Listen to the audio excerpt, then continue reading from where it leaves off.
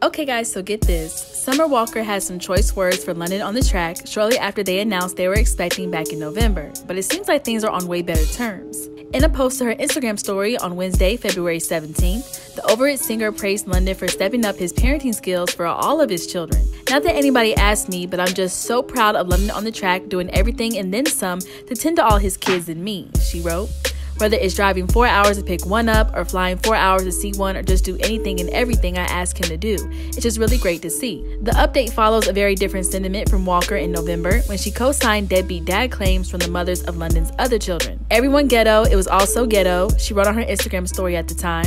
I tried to get him to spend time with his other kids as much as I could. He didn't want to because he's selfish. I tried to get his baby mamas to let him see the kids. They didn't want to because they was bitter and hated me for no reason. I try to get everybody to just get the fuck along like one big happy family, and instead everyone just shit on me. And now I just have the shit end of the stick because all these motherfuckers is ghetto. She announced she was pregnant with her on again, off again boyfriend just one week earlier. Walker was named Hip Hop DX's Singer of the Year in 2019. Her last project, Life on Earth, was released last August.